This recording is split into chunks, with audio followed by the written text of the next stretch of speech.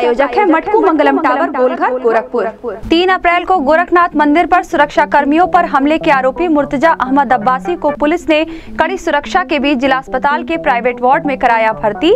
मंदिर में गिरफ्तारी के समय मुर्तजा का हाथ हुआ था फ्रैक्चर। दर्द होने पर पुलिस ने जेल से अस्पताल में करवाया भर्ती। फ्रैक्चर हाथ का होगा ऑपरेशन।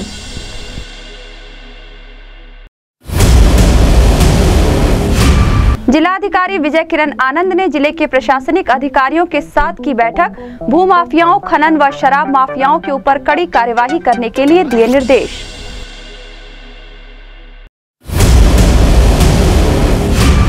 गोलघर स्थित बलदेव प्लाजा में एक दुकान के एसी के आउटर यूनिट में शॉर्ट सर्किट से लगी आग। पूरे बलदेव प्लाजा में धुआँ भर जाने से अफरा तफरी का हुआ माहौल। आग पर पाया गया काबू। मुख्य अग्निशमन अधिकारी ने कहा, नहीं हुआ कोई जान माल का नुकसान।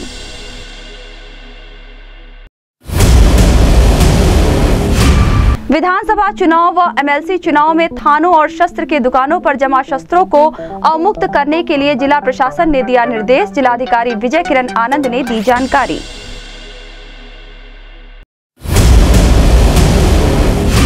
जगन्नाथपुर स्थित दुर्गा मंदिर पार्क में जिलाधिकारी विजय किरण आनंद ने लगाया चौपाल।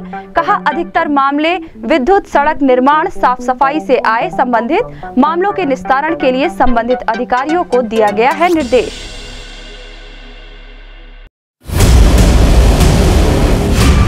सड़सठवें रेल सप्ताह समारोह के अवसर पर आयोजित हुआ रेल सप्ताह पुरस्कार वितरण समारोह।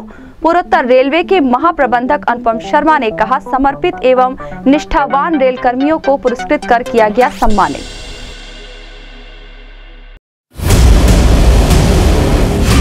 शासन ने हैसियत प्रमाण पत्र की वैधता दो वर्ष से बढ़ाकर किया तीन वर्ष। जिला प्रशासन ने तत्काल प्रभाव से किया लागू। जिलाधिकारी विजय किरण आनंद ने दी जानकारी।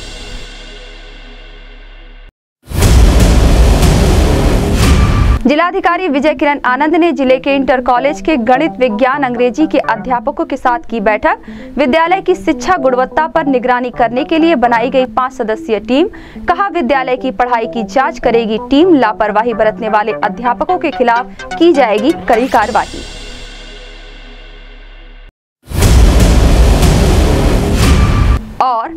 सामाजिक न्याय पखवाड़ा पोषण अभियान के अंतर्गत भाजपा महिला मोर्चा की कार्यकर्ताओं ने गर्भवती महिलाओं को पौष्टिक आहार और फल वितरण करके किया सम्मानित ताकि महिलाएँ, युवतियाँ और गर्भ में पल रहे बच्चे सभी रहें स्वस्थ।